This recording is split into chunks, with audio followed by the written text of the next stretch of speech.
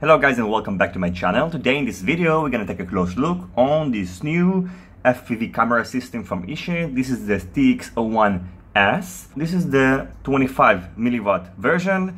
I actually want to test the TX02S but it's not out yet and as soon as it will be out I will have my hands on it. So inside the box we're getting this camera system. As you can see, the camera and the VTX board is separated. We got this battery adapter, instruction manual, and that's it. As you can see, the output power is 25 milliwatt. It's not adjustable. The input power is between 2.5 to 5.5 volts. The field of view is 120 degrees and the weight is 4.18 grams, so it's very light. And we're going to see how it compares to the TX03 camera. This VTX features this brass antenna, which I really like because it's very durable and because it's intended to be used with micro quadcopters, the range that I will need to achieve is not that far and this antenna is lightweighted and durable and will probably be great with this VTX. Frequency switching is not displayed with a LED indicator like in the VTX03. I think they did it in order to save some weight, so it's done by LED indicators and I will show you later how it's done when I will connect it to a battery. According to my weight, the weight is 3.9 grams, so this is extremely light.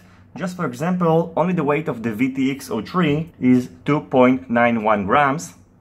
And if I will add the camera, it's 4.85 grams. So the TX01S is 1 gram lighter. The weight of the TX03 all-in-one camera is 5.35 grams, so the TX01S weighs about 1.5 grams lighter, and for micro quadcopters it can be a big difference.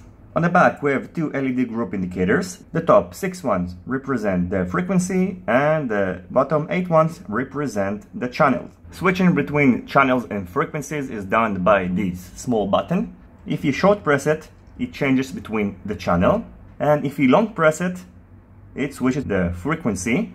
You can refer to the frequency table and you can see that you have here the frequency and the channel. They messed it up a little bit in the instruction manual so let me show you how the LED indicators works the left one this one is red number one and the top one is blue LED number one so, for example, I would like to set it up on FatShark 7. So the band has to be 4 and the channels has to be 7. So let's set it up. So let's scan it and see we are on the correct band.